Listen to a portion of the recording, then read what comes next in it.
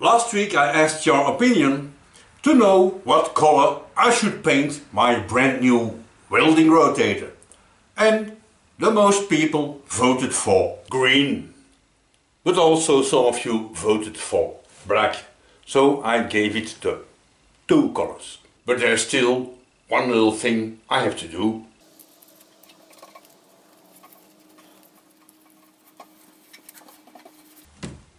Much better. While I was painting the thing, I was thinking of something. Why should a piece like this one, for example, of course with two centers in it, spin driven by this shaft and not stay blocked by the other center point, the other shaft here. It could well be that the shaft is gonna spin and that my workpiece does not spin because in theory the friction between this point and this center is the same than between this center and this point. So I need to make something here that will provide me more friction. And I think I have exactly what I need. I have a cute little spring here. And it fits on this point. If I can manage to fix this brake pad from a car, now luckily my neighbor has a brand new car, so this brake pad is not dirty at all. It's a very nice piece of equipment. Drill a hole in here that can, this thing can fit over this point and the spring will provide some pressure. Of course, cut off all the... I don't know if my cutting tool has the right angles to cut brake pad, but we'll see what happens.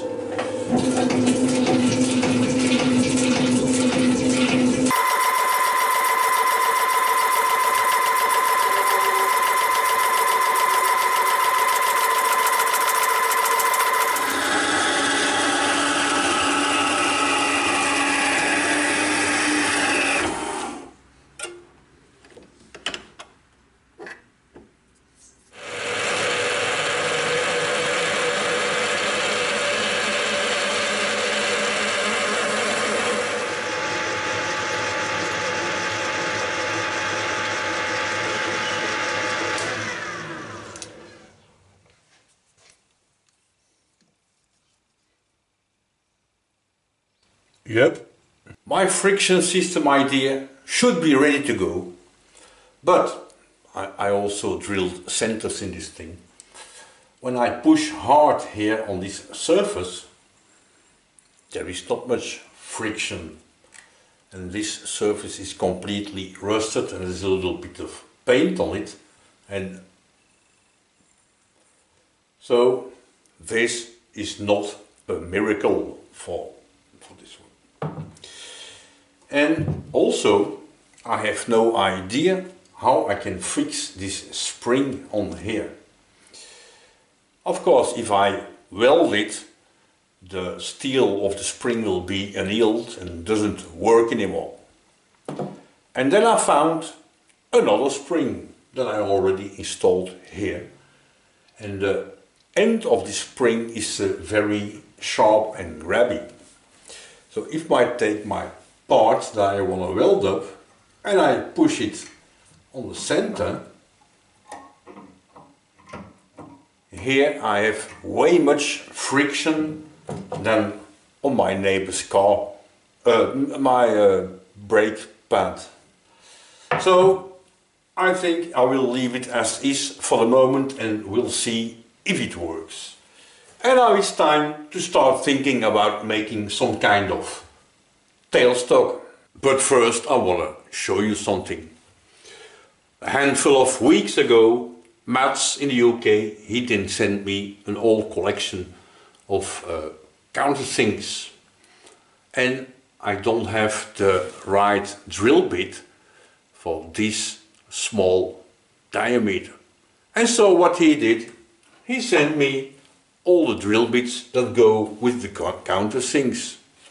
And also he sent me cute little 3 millimeter M3 tap set. These are quality tools. It's even marked on it.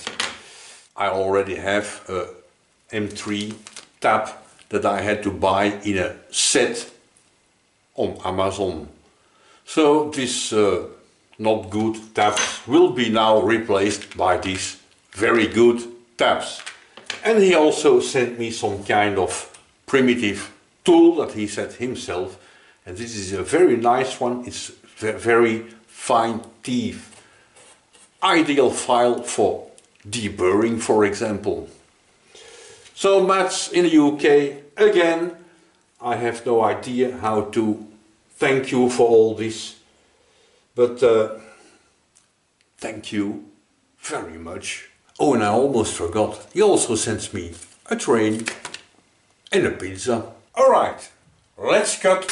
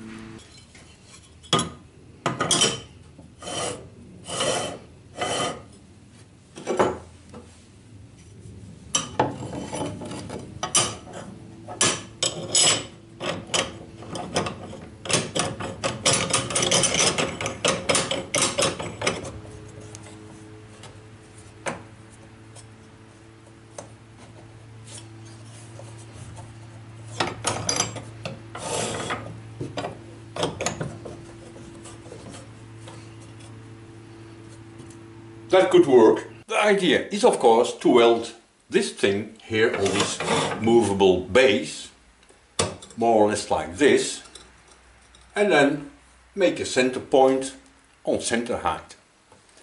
But I think it should be better if I make it a little bit like a live center.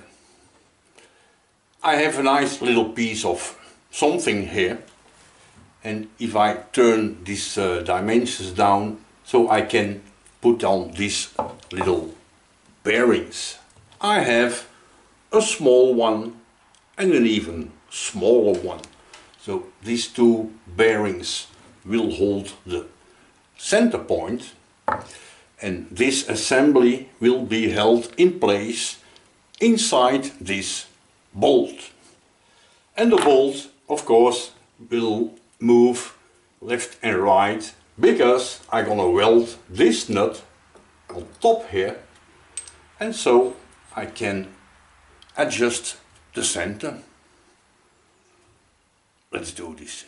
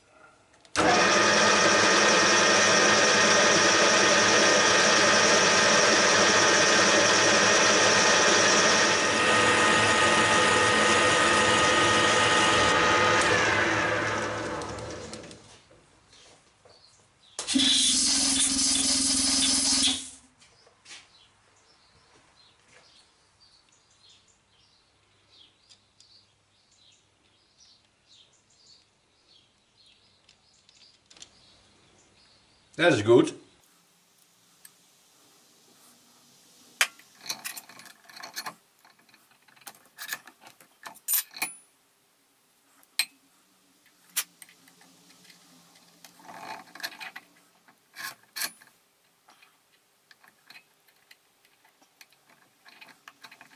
I had a little bit difficulties to assemble the thing. And then I took it back to the lathe and cleaned these openings up with a little bit of sandpaper and now it is assembled. But it doesn't spin anymore. Of course it's a little bit pointless to have a live center that's dead. And because the thing is pressed together, officially I cannot take it apart without making a big mess out of it. But I think that's what I'm gonna do. So I'm gonna put it here in the vise and pinch it and make a mess.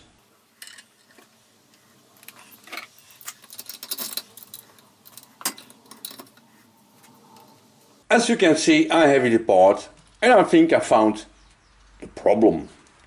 This outer ring of the bearing is broken. So instead of having a bearing now I have parts. But that's not a problem. As you can see here I reassembled the thing with only one bearing and it seems to spin freely. So success.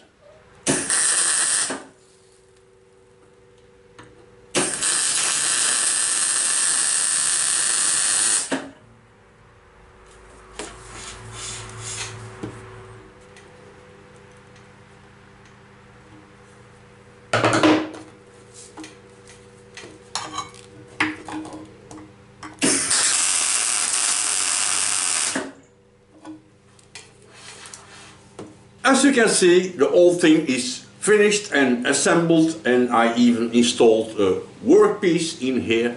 I turned down a little bit the outer diameter to make it round again because this became oval and I think I'm ready to start welding.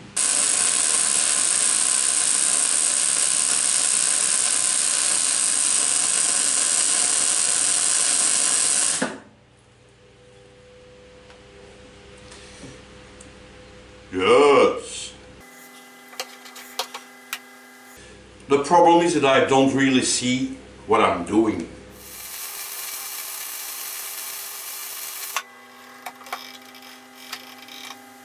That was fun. I installed the thing back in the lathe. Normally I wanted to do just a part and then stop so you can see the difference, but it was so much fun to do that I did the whole length I just gave it a touch of uh, hairbrush here to clean it up and the first part I welded from below here almost more or less 90 degrees and I couldn't see very well what I was doing. Result, this weld looked like nothing. And then I started welding on top and I see much better what I'm doing and these welds look really good. Now, remember, this is the very first time in my life I'm doing something like this. Right, let's turn the diameter down again to 40 millimeters, what it should be.